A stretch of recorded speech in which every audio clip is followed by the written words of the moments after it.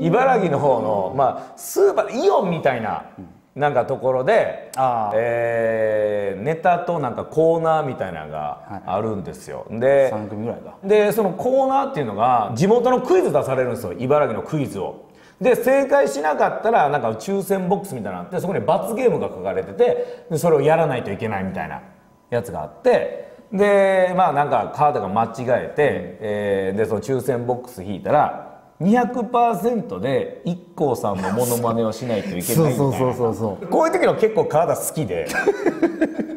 ほんまに200%でやってくれるんですよ。ちょっと一回やってくれ。ちょっとあの時みたいにやってくれ一回。時ぐらいで200%の 200%のね。そう。ねどんなんやったの？やるのもうね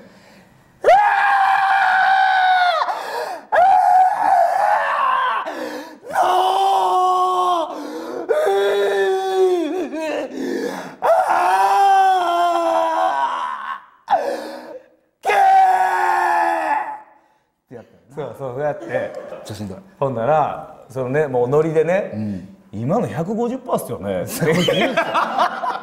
こいつはほんまに悪い。150%っすよねみたいなそうそうそう。こと言ってほんならもうやらなしゃあないんでもうまた同じ具がもっとさらにこうバーってやってくれて、ほんならもう前のおばあちゃんが、それ見て。そう。無駄に響いてな。なあほんでうわすごいでその人コーナーから見てくれてるんですよ。そうずっとなんかね。ね、それでも一番前に使ってうわーってなってほんでそれ終わった後カードが終わった後でバーッとどっか行ったんですよ。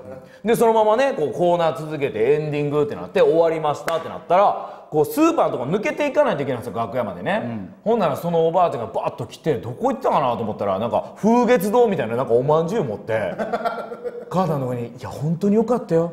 頑張ってねよしこちゃん」って言って「頑張れるやんよしこ」すごいな。